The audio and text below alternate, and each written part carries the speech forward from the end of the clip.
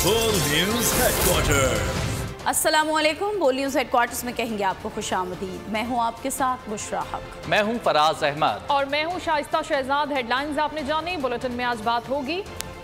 तारीखी तारीखी फतह। बारिश से अमवात।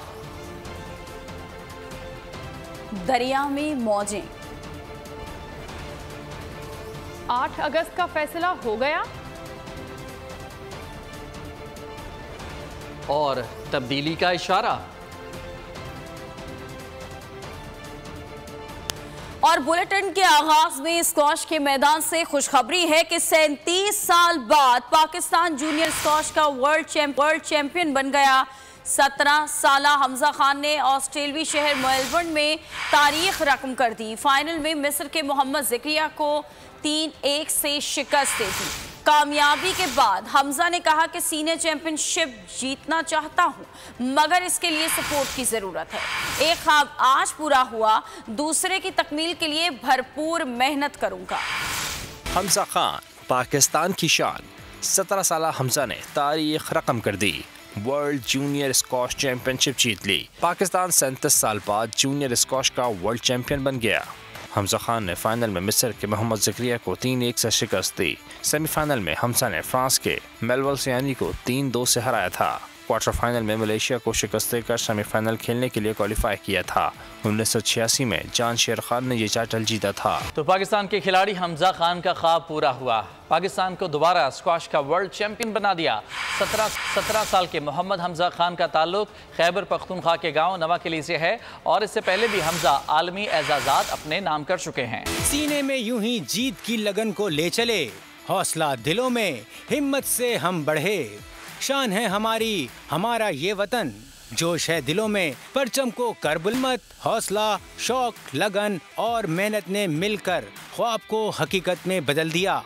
सत्रह साल खिलाड़ी हमजा खान ने पाकिस्तान को स्क्वाश जूनियर वर्ल्ड चैंपियन की ट्रॉफी जितवा दी। मोहम्मद हमजा खान का ताल्लुक खैबर पख्तूनख्वा के गाँव नवाकली से है। रवा साल हमजा ने पाकिस्तान के जहांगीर खान को शिकस्त देकर सीनियर वर्ल्ड ओपन जीता था। फरवरी 2023 के दौरान चेन्नई में पाकिस्तान को इंडिया के खिलाफ एशियन जूनियर स्कॉश चैंपियनशिप में फतह दिलाई।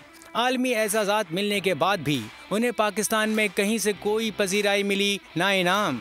हमजा का कहना था कि उन्हें काफ़ी जगहों से पेशकश हुई, लेकिन वालिद ने कहा कि पाकिस्तान के खिलाड़ी हो, पाकिस्तान में खेलोगे। और स्कॉश की दुनिया पर पिशावर का एक मरतबा फिर राज निमा करी के हमजा खान ने जूनियर वर्ल्ड स्कॉश चैंपियनशिप अपने नाम कर ली है, कर ली है। हमजा खान के घर मुबारकबाद देने के लिए आने वालों का तांता बन गया। इस वक्त बोलिए के नुमाइंदा आसिफ शहजाद भी हमजा खान के घर पर मौजूद हैं। उनसे बात करते हैं कि कितने खुश हैं उनके अहल खाना। जी, बताइएगा। जी, बिल्कुल। स्क्वाश के शायकीन के लिए एक बार फिर बड़ी खबर है कि खैबर पख्तनख्वा के शहर पिशावर के एक सपूत ने स्क्वाश का टाइटल जो है वो सैंतीस साल बाद अपने नाम कर लिया है। मैं उस वक्त मौजूद हूँ पिशावर के हमज़ा ख़ान के घर पर, जहाँ पर खुशी का समा है। उनके जो अज़ीज़ अकारब हैं, वो यहाँ पर आ रहे हैं। मिठाइयाँ खिलाई जा रही हैं उनके। चचा हमारे साथ मौजूद हैं, हम उनसे बात करेंगे। शुक्र अलहमदिल्ला ये टाइटल जो है ना, मोहम्मद हमजा खान ने सैंतीस साल बाद जीते। ये टाइटल पहले जो है ना जानशीर खान ने उन्नीस सौ छियासी में ऑस्ट्रेलिया में जीती थी। तो सैंतीस के, सैंतीस साल के बाद हमजा खान ने जीती है। ये जो है ना, पाकिस्तान स्क्वाश फेडरेशन और पाकिस्तान आर्मी का सिले का नतीजा है। हमजा जो है ना, बचपन से बहुत शौकीन था स्क्वाश खेलने का। तो अल्लाह पाक ने उस पर बड़ा रहम किया और ये आज़ाद हासिल किया। थैंक यू हाँ जी बिल्कुल अल्लाह ने बहुत रहम किया और टाइटल दिया। हमजा खान के दोस्त भी हमारे साथ मौजूद हैं हम उनसे बात करेंगे। जी हम हमारा गाँव नवा किले हमजा खान की जीतने पर फ़ख्र महसूस कर रहे और हमारा कौम खलील भी हमजा की जीतने पर फ़ख्र महसूस करे हमारे लिए एजाज़ की बात है कि सैंतीस साल बाद पाकिस्तान आज स्क्वाश में फिर वर्ल्ड नंबर वन का एजाज़ हासिल किए। हम सब गाँव वाले और हमारे सब कौम हमजा पर फ़ख्र कर रहे हैं। जी बिल्कुल जिस तरह के आपने सुना कि हमजा के दोस्त अहबाब बहुत शुक्रिया अदा करने के लिए।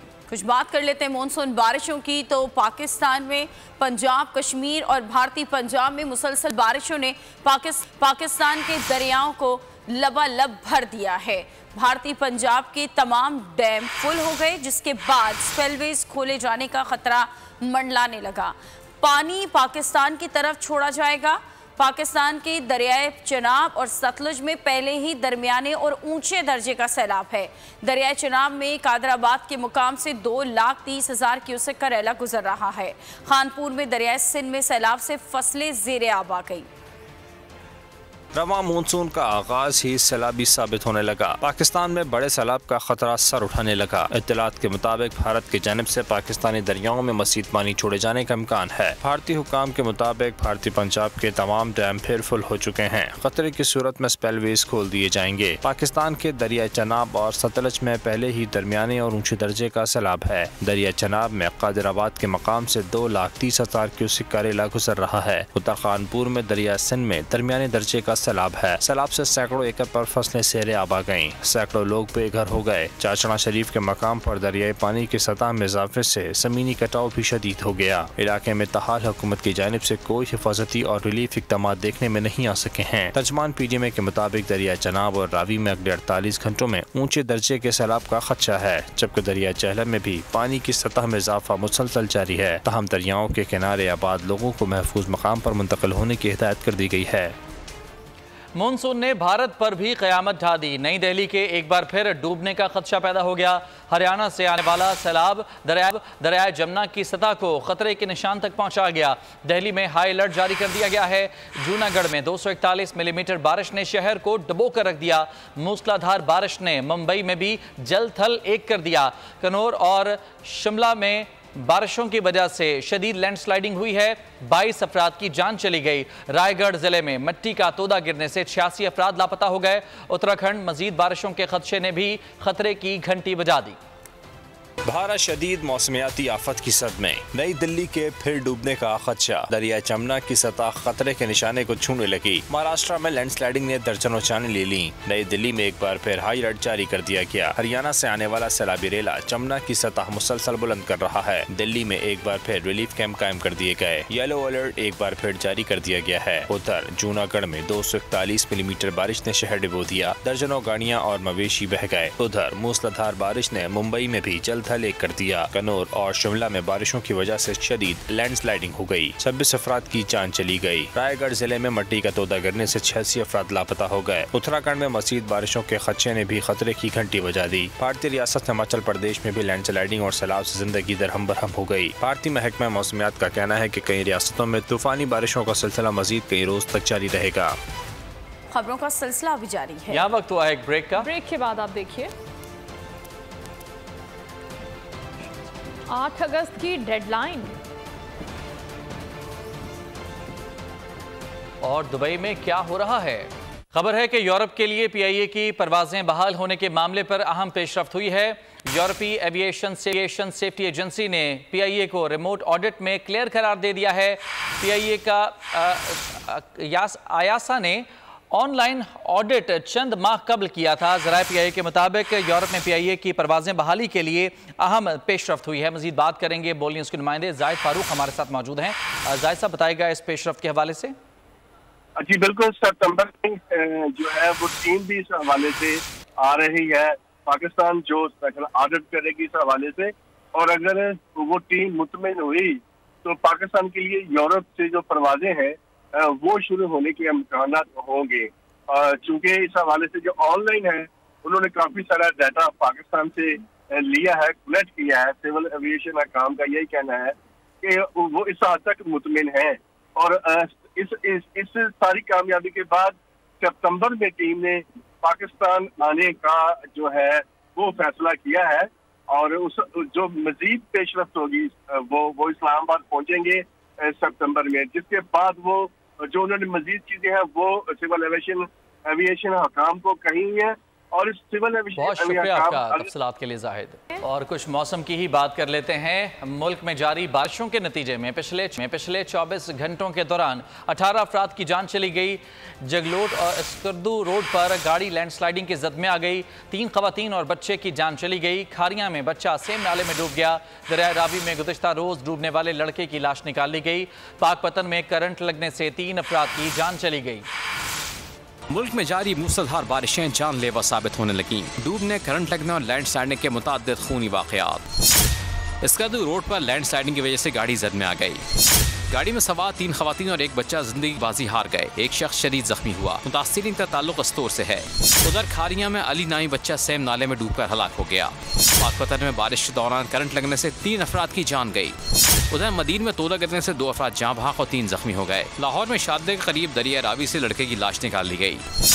चौदह साल तैयब गुजशत रोज डूब गया था तानलिया वाले में दो मुख्तलिफ़ वाकत में बारिश के बायस करंट लगने से दो नौजवान ज़िंदगी की बाजी हार गए मानसून बारिशों ने पंजाब में जल थल एक कर दिया खैबर पख्तूनखा आज़ाद कश्मीर और गिलगित बल्तिस्तान में भी शदीद बारिशों बारिशों की वजह से लैंड स्लाइडिंग से रास्ते बंद हो गए दरिया नीलम में सैलाब से 200 घर जेर आब आ गए मुतद दुकानें और मवेशी सैलाब में बह गए चतराल में सैलाब से बेघर हुए अफराद का कोई पुरसान हाल नहीं मानसून बारिशों का दूसरा तूफानी स्पेल। पंजाब में पोटोहार समेत वस्ती इलाकों में बारिश का सिलसिला जारी। इस्लामाबाद में सी डी अफसरान और अहलकारों की छुट्टियाँ मनसूख गुजशत रोज 200 मिलीमीटर बारिश ने लाहौर को डुबो दिया। आज भी बारिश का सिलसिला जारी। दावी किनारे हर किस्म की सरगर्मियों पर पाबंदी आए। शकरगढ़ जामपुर खानपुर में बारिश ऐसी सड़कों आरोप पानी खड़ा हो गया। पंजाब में तेईस ऐसी उनतीस जुलाई तक मुसलसल बारिशों का इम्कान है। पी डी एम ए ने खबरदार कर दिया। उधर सवात, मदीन और दीगर इलाकों में बारिश ऐसी अवाम की मुश्किल में इजाफा हो गया। कश्मीरी दरिया नीलम में सैलाब ऐसी दो सौ घर जेर आब गए। बालाई इलाकों के देहात में पानी दाखिल हो गया। मुताद दुकानें और मवेशी सैलाब में बह गए। चित्राल में सैलाब से बेघर हुए अफराद का कोई पुरसान हाल नहीं। गुजशत रोज सैलाब ने दर्जनों रफ्ता पुल मकान तबाह कर दिए। उधर मानसहरा में बारिशों से नदी नालों में सैलाबी सूरत हाल है। मॉनसून की तूफानी एंट्री ने ज़िंदा दिलाने लाहौर को दोहरी अजियत में मुबतला कर दिया। एक तरफ़ बिजली की बंदिश तो दूसरी तरफ़ तफरीही मकामा तालाब का मंजर पेश करने लगे। शहरी बारिश के पानी की वजह से पार्क्स का भी रुख नहीं कर रहे। लोगों को किन मुश्किल का सामना है, मजीद जान लेते हैं। फातिमा शराजी हमारे साथ मौजूद हैं। फातिमा, बताइएगा।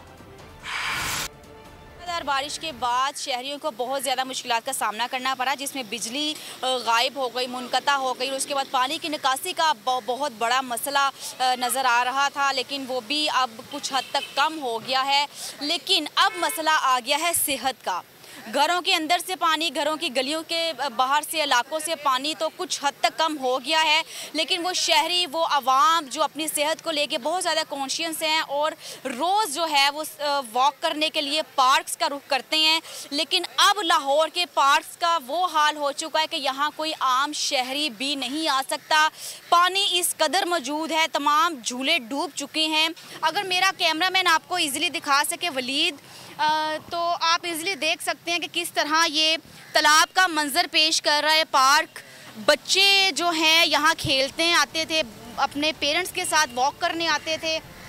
झूले डूब चुके हैं। बहुत शुक्रिया आपके लिए फातमा मुस्तकबिल के सुहाने ख्वाब समंदर में डूब गए। यूनान कश्ती हादसे में जाम बहक होने वाले एक और पाकिस्तानी की मैयत वतन वापस पहुँच गई। माँ सदीक की मैयत घर पहुँचने पर कोहराम मच गया। आहम और सिस्कियों में कब्रिस्तान कासिमाबाद में सुपुर्द खाक किया गया। नमाज़ जनाजा में बड़ी तादाद में लोगों ने शिरकत की। इलाके की फिजा सोगवार और हर आँख अश्कबार है। आगे बढ़ते हुए खबर आपको देंगे कि 8 अगस्त को हुकूमत तहलील हो जाएगी। आम इंतबात वक्त पर ही होंगे। रहनुमा जे यू आए मौलाना आए, मौलाना अब्दुल गफूर हैदरी का कल रात में दावा। कहा कि आइंदा इलेक्शन के बाद पी टी ए का नाम भी नहीं होगा। पाकिस्तान के मामला में इसराइली मुदाखलत पर अकवा मुतहदा को नोटिस लेना चाहिए। अमीर जमात इस्लामी सराजुल्ला कहते हैं कि करप्ट टोला हम पर मुसलत किया गया। मुल्क में हुक्मरान सिर्फ़ एक, सिर्फ़ इकतदार के मज़े लूट रहे हैं। मुल्क में यहूदियों का बनाया गया निज़ाम चल रहा है। इकतदार में आकर सूदी निज़ाम को ख़त्म कर देंगे। बादिल क़ियादत दे और यहाँ के जालिम निज़ाम को चैलेंज करे, यहाँ जालिम सरदारों को चैलेंज करे, यहाँ करप्ट सरमायादारों को चैलेंज करे, यहाँ करप्ट माफिया को चैलेंज करे। मैं यकीन दिलाता हूँ, ये बहुत कमज़ोर लोग हैं। मेरे पास जरदारी साहब भी आए थे दस अप्रैल से कबल कि आपको भी हम हिस्सा देंगे, आप हमारे साथ अदम अतमाद के इस प्रोग्राम में शरीक हो जाए। मैंने उनसे पूछा कि मकसद किया है आप लोगों की हुकूमत साजी का? क्या इनकलाब चाहते हो? क्या इस चाहते हो? उन्होंने कहा कि नहीं, ये हमारा प्रोग्राम नहीं है। हमारा प्रोग्राम सिर्फ़ ये है कि हम हुकूमत में आ जाए और हज़रत मौलाना भी हमारा इमाम है तो आप भी आ जाए। मैंने कहा, जमात ने फैसला किया है कि हम अपने झंडे के साथ अपने निशान तराजू के साथ और अपने इनकलाबी मंशूर के साथ इलेक्शन में जाएँगे। मैं अल्लाह का शुक्र अदा करता हूँ कि हम उसमें नहीं गए और न आज ये महँगाई और बेरोज़गारी और बदमनी और ये जितने मसाइल है तो इन नाकाम सियासी लीडरों में आपका नाम भी होता। लोग आपको भी ताने देते। शहरियों के लिए खुशखबरी है कि बसों की एक और खेप कराची पहुँच गई है। वज़ीर ट्रांसपोर्ट सिंध, शर्जील इनाम मेमन ने ट्वीट में कहा कि, में कहा कि चंद दिनों में नए रूट्स शुरू किए जाएँगे। नई बसों की आमद से मजीद आसानी पैदा होगी। अगस्त और मजीद बसें भी कराची पहुंचेंगी। खबर शामिल करते हैं कि आई टी इंडस्ट्री मुल्क की तरक्की की सीढ़ी है। तोज्जो देना समझदारी का फैसला है। आई टी सेक्टर तीन साल में बरामदात में पचास अरब पचास अरब डॉलर का इजाफा कर सकता है। बोल के को चेयरमैन शुएब शेख ने फॉर्मूला बता दिया। कहा कि बड़ी कंपनियाँ मौजूद हैं सिर्फ़ पॉलिसीज़ बनाने की ज़रूरत है। आईटी सिर्फ़ सॉफ्टवेयर बेचने का नाम नहीं, रिवायती बिज़नेस को आईटी के ज़रिए फरोग दें तो 30 अरब डॉलर्स आ सकते हैं। बताया कि 2014 में पाकिस्तान की टोटल आईटी एक्सपोर्ट में बयासी फ़ीसद हिस्सा एग्जैक्ट का था। को चेयरमैन बोल न्यूज़ शुएब शेख ने कहा कि आईटी इंडस्ट्री मुल्क की तरक्की की सीढ़ी है। तवज्जो देना समझदारी का फैसला है। आईटी सेक्टर तीन साल में मुल्की बरामदाद में 50 अरब डॉलर्स तक का इजाफा कर सकता है। अगर आप ये समझ लें कि वो आईटी का बंदा, अगर वो जितने एंटरप्रेन्योर्स हैं जो ऑलरेडी एक्सपोर्ट कर रहे हैं, अगर उनको सही तरीके से इंसेंटिवाइज किया जाए, उनको सही मोटिवेट किया जाए तो वो अपना बाकी पैसा भी बाहर यहाँ लाना शुरू, आपकी एक्सपोर्ट एकदम हंड्रेड परसेंट से इंक्रीज हो जाएँगी। एकदम। तो आप उसको सबसे पहले फोकस कर सकते हैं। उसके अलावा आप दो एस दो पॉलिसीज़ बनाएँ। ये जो बाहर से जो जो कंपनीज़ हैं गूगल या दूसरी कंपनीज़ हैं दो ऐसा पॉलिसीज़ खाली आपने सेट करनी है जो तीन दिन में कर सकते हैं आप एग्जीक्यूट और पहले महीने में उसका उससे आपको डेढ़ सौ मिलियन डॉलर से ज़्यादा का इफ़ेक्ट हो जाएगा। शेख शेख ने मजीद कहा कि आईटी की बरामदात बढ़ानी है तो रिवायती बिज़नेस को आईटी के ज़रिए फ़रोग देना होगा। पाकिस्तान की आईटी इंडस्ट्री जो है वो तीन साल के अंदर पचास अरब डॉलर से ज़्यादा की आईटी या पाकिस्तान की एक्सपोर्ट में एडिशनल इजाफा कर सकती है अगले तीन सालों के अंदर। शेब शेख ने कहा कि मुल्क में बैरूनी सरमाकारी लानी है तो माहौल को साजगार बनाना होगा।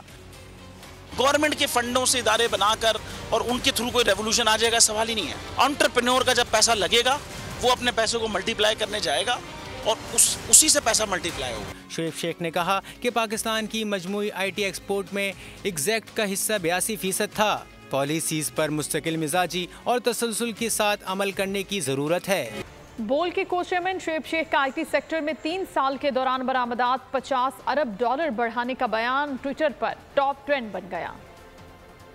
शेब शेख की जानब से आईटी एक्सपोर्ट बढ़ाने के हवाले से फॉर्मूला दिया गया और उन्होंने कहा कि आईटी सेक्टर में तीन साल के दौरान बरामदात को 50 अरब डॉलर तक बढ़ाया जा सकता है। शेब शेख का ये बयान ट्विटर पर टॉप ट्रेंड बन गया। और पाक बहरिया के लिए एक और संगे मील बेल्जियम क्लास कोरिविट्स की शमूलियत की तैयारियाँ, पाकिस्तान में तैयार होने वाला दूसरा Milgem class corvette PNS Tariq अगस्त के अवाइल में लॉन्च किया जाएगा। लॉन्चिंग के लिए तुर्क सदर रजब तैयब उर्दवान की पाकिस्तान आमद मुतव है। पाक पहरिया के लिए एक और संग मील। मिल्चम क्लास क्रोवेट्स की शमूलियत की तैयारियाँ। पाकिस्तान में तैयार होने वाला दूसरा Milgem class corvettes P N S Tariq अगस्त के अवाइल में लॉन्च किया जाएगा। लॉन्चिंग के लिए तुर्क सदर रजब तैयब उर्दवान की पाकिस्तान आमद मुतव लॉन्चिंग के बाद पी एन एस तारीख के समंदरी ट्रायल शुरू होंगे। समंदरी ट्रायल का मरहला मुकम्मल होने के बाद पी एन एस तारीख बाबा तौर पर पाक पहरिया के बेड़े में शामिल होगा। पाकिस्तान ने दो हज़ार अठारह में तुर्की के साथ फोर मेल्चिम क्लास या बाबर क्लास क्रोवेट्स की तैयारी तैयारी का माहदा किया था। माहदे के तहत दो क्रोवेट्स इस्तांबुल शिपयार्ड जबकि दो Karachi shipyard and engineering work में तैयार किए जा रहे हैं। स्टील खसूसियात, जदीद वेपन सिस्टम और जदीद तरीन सेंसर्स के साथ मेल्चिम क्लास पार्क, बहरिया के जदीद तरीन जहाज़ होंगे। और बारबी जैसे दिखने के लिए 25 साल ऑस्ट्रेलियाई खातून ने करोड़ों खर्च कर दिए। गुलाबी बालों और मुताद सर्जरी से जैजमीन बारबी डॉल बन गई। हमें फिल वक्त इतना ही। ब्रेक के बाद हाजिर होंगे हेडलाइंस के साथ। किसी भी खबर के लिए आप विज़िट कीजिए बोल न्यूज़ डॉट कॉम और देखते रहिए बोल न्यूज़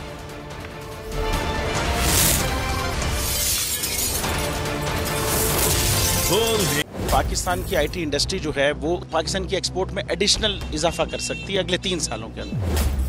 क्योंकि आईटी और बाकी जो तीन सेक्टर्स हैं, उन तीन सेक्टरों में आईटी में फ़र्क है। वो ये है कि ये ये टर्म में आपको गेंद दे सकती है, जो पाकिस्तान की नीड है इस वक्त। आईटी को तो पहले भी, इससे पहले वाली घूमते हैं और इससे पहले भी लोग डिफाइन करते आए कि जी यार आईटी से बहुत चेंज आ जाएगा। क्या वो इम्पैक्ट हुआ आईटी इंडस्ट्री के ऊपर जो हम समझते थे और चाहते थे? पाकिस्तान की एक्सपोर्ट्स इतनी हो जाएँगी कि पाकिस्तान के सारे मसले मसाइल ख़त्म हो जाएँगे। वो तो नहीं हुआ। आपकी जो पॉलिसीज़ हैं, वो कॉन्फ्लिक्ट हो रहा है। क्या हमने ऐसी पॉलिसीज़ रखी हुई कि गूगल मजबूर हो यहाँ पे ऑफ़िस खोलने में? पॉलिसीज़ के तहत करना होगा, वो दो से तीन महीने, चार महीने में खुद ब खुद ऑफ़िस स्टार्ट करेंगे। जो आपके मुल्क का आईटी का एंटरप्रेन्योर है, सौ मिलियन डॉलर तो वो बाहरी अकाउंट रोक लेता है। आप उसको मोटिवेट करके, उसको पर फोकस करें उस पर इंसेंटिव करें, वो आपको हंड्रेड आएगा तो आपका फाइव टाइम्स इंक्रीज हो जाएगी फॉरन। टेक्सटाइल में हम क्या करते हैं? हम उठाते हैं, बाहर के किसी ब्रांड के लिए टी शर्ट यहाँ बनाते हैं, उसको दे देते हैं। लेकिन अब आईटी के बाद अगर आप अपना ब्रांड बना के लोगो वहाँ पे बेचेंगे, चाहे बी टू बी बेचें, चाहे बी टू सी बेचें पॉसिबल है। पाकिस्तान की जो एक्सपोर्ट में ये तीस अरब डॉलर से ज़्यादा का इजाफा इससे हो जाना खाली यार। गवर्नमेंट के फंडों से इदारे बनाकर और उनके थ्रू कोई रेवोल्यूशन आ जाएगा, सवाल ही नहीं है।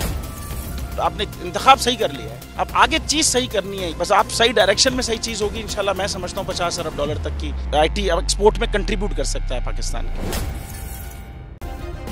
सब्सक्राइब करें और बेल दबाएँ ताकि कोई खबर रह न जाए।